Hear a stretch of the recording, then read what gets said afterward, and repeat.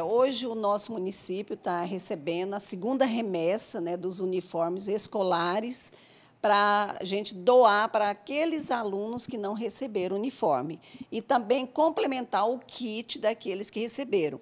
Além de da gente estar tá dando uniforme para os alunos que não receberam, nós estaremos também distribuindo uma camiseta a mais para todos os alunos. Importante a gente destacar justamente isso, né? esse cuidado que a Secretaria de Educação tem com a população aqui do nosso município e sobre essa situação desse uniforme. Secretária, é obrigatório o uso? Mais uma vez a gente falar sobre esse assunto.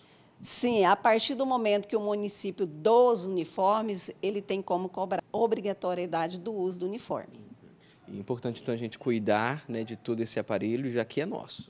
Com certeza, né? E a gente pede às mães, às mamães, que não coloquem que boa nas camisetas, né? Porque estão manchando as camisetas.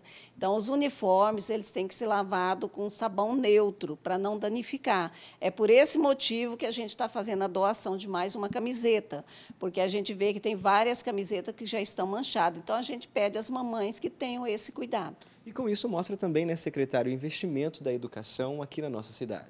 Com certeza, né? Nós estamos investindo bastante na educação. A gente ainda precisa de algumas adequações, mas nós estamos aí trabalhando, né, e lutando para que tudo venha a dar certo, como já está dando.